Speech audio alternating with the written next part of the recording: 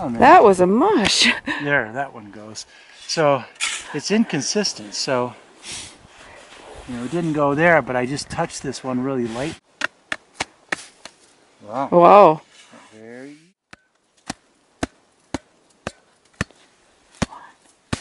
There it goes. Two. Oh.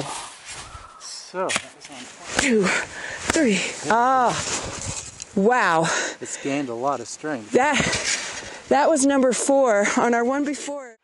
One, two, three, four, five. There it Oh, goes. oh, 15. 15. 24 down there, 22, 15.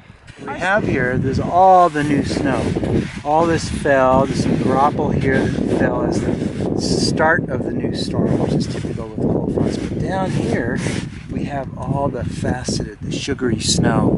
That was on the ground left over from October, rotted into this rotten snow.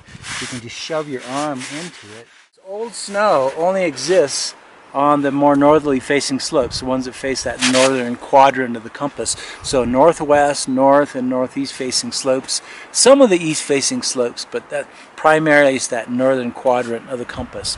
Uh, otherwise, this doesn't exist, and so all you're dealing with is the new snow, which is quite stable. So all the south facing slopes are, are, are quite stable right now, but it's just those northerly ones that we're worried about.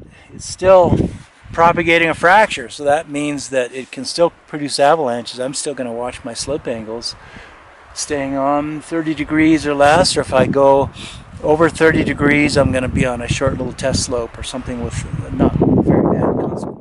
Based on what I saw here, I'm not going to be pushing some angles uh, in the 35 range. It's not worth it, especially with the shallow snowpack. And even though our depth hoar is what uh, four to six inches, knowing what we knew last weekend and how reactive it was, and now it's a little more pockety, but there's still going to be avalanches happening out there, and we've got to make good decisions.